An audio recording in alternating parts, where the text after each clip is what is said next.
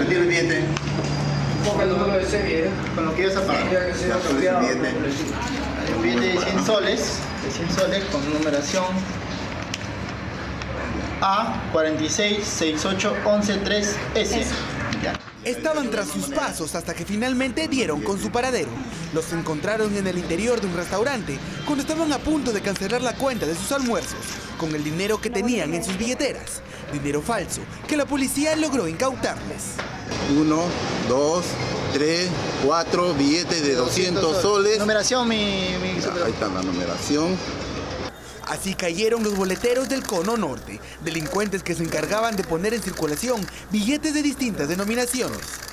En el registro de sus viviendas y en el auto que utilizaban para movilizarse, la policía encontró tres billetes de 50 soles, seis de 200 y 51 de 100 soles. Un total de 60 billetes falsos que alcanzan la suma de 6.450 soles. Acudían a los diferentes centros comerciales, restaurantes, donde consumían o compraban diversos artículos y pasaban estos billetes. Estas personas serían parte de una organización criminal dedicada a la elaboración y circulación de dinero falsificado.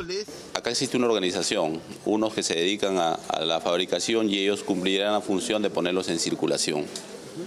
Este, ellos o, o los intervenidos argumentan que estos billetes los compran a 25 soles los de 200, a 15 soles los de 100 y a 10 soles los de 50.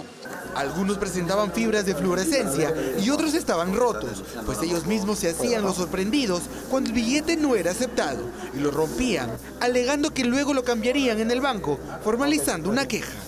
La policía investiga a tres personas en torno a este caso.